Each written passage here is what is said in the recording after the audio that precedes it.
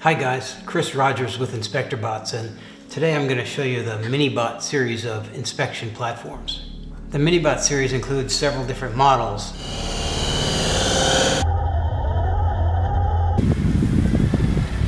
I'll point out some of their features and show you how they differ so that you can make an informed decision about which one might work for your particular application.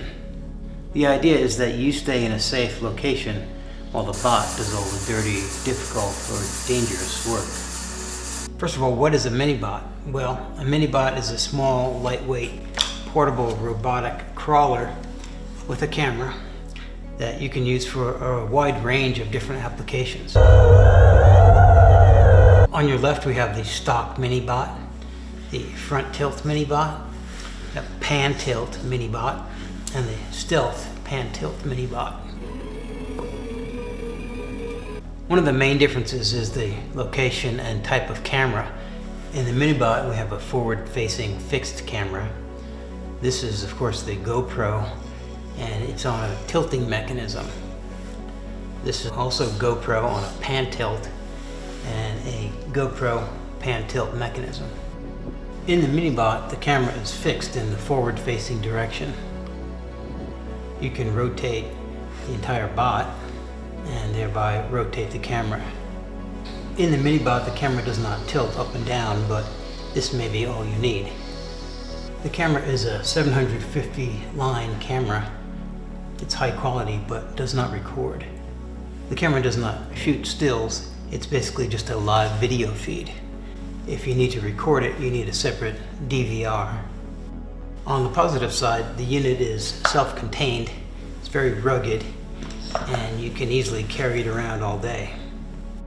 It's very low profile, plus you have all this deck area so you can attach your own equipment or experiments. The PTM or Pan Tilt Minibot features a GoPro Hero camera mounted to a pan tilt mechanism which is mounted on top of the deck. The advantage here is that the camera can capture much higher resolution than the stock Minibot up to 4K. The camera can record either stills or video. You can easily select a still image from a video and use it in a report. The pan tilt mechanism allows you to look left and right, up and down, and anywhere in between. Simply move the left joystick on the radio controller and the camera will follow your movements.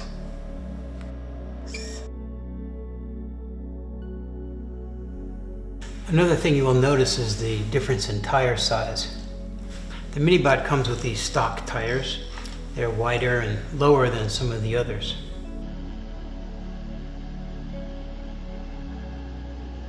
On the Stealth Pan-Tilt Minibot, the tires are rugged, four-wheel drive, high clearance tires. The wheels on the Minibot are plastic, whereas on the higher end models, the wheels are aluminum.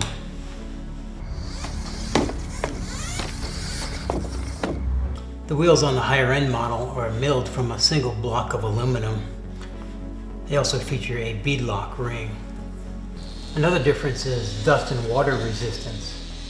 Often we're inspecting in wet, damp, or muddy conditions. So the Stealth Pan-Tilt Minibot comes with water resistance, but also this beautiful satin black finish. The upgrade is IP66, so you can virtually rinse it off. The SPTM also comes with extra LED lighting. You can see the LED bar here, plus these additional lights in the front. So instead of the two LEDs on the Minibot, the SPTM now has seven ultra bright LEDs.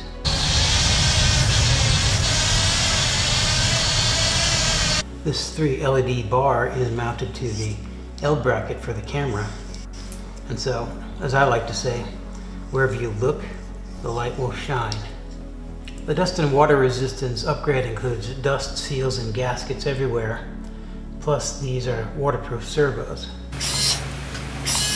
So the SPTM is a really an upgraded PTM with the addition of rugged four-wheel drive tires, the stealth black finish, dust and water resistance, plus the upgraded LEDs. The front tilt minibot is basically a cross between the minibot and the pan tilt minibot. You can see it has a GoPro camera, 4K recording, but is limited to the up and down motion, whereas the pan tilt has full range. The FTM comes with the GoPro camera mounted in the front. It has the ability to record high resolution, either stills or video. So with the FTM and the front mounted GoPro, you get the ability to tilt up and down, plus move the entire platform left and right. So the benefit of this system is you get a virtual pan tilt mechanism, the GoPro camera, high definition recording, great ground clearance, and very low overhead clearance. So whether you're a home inspector, an engineer, or an educator, I hope you will consider the Minibot line for your next inspection project.